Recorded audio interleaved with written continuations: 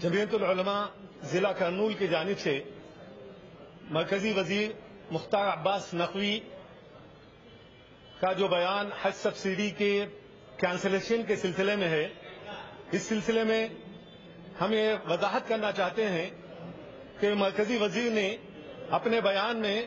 مسلم appeasement, مسلمانوں کی خوشنودی کو ختم کرنے کا بیان دیا ہے۔ حالانکہ चार कुंभ मेलों में और अमरनाथ यात्रा, मानसरोवर यात्रा गोदावरी पुरस्कार में मरकजी और रियासती हुकूमतें हर साल पैंतालीस हज़ार करोड़ रुपए तकरीबन खर्च करती हैं। क्या ये, अरे चार सौ पचास करोड़ रुपए किधर और पैंतालीस हज़ार करोड़ रुपए खर्च होने के बावजूद वो अपीजमेंट नहीं है और ये अपीजमेंट है।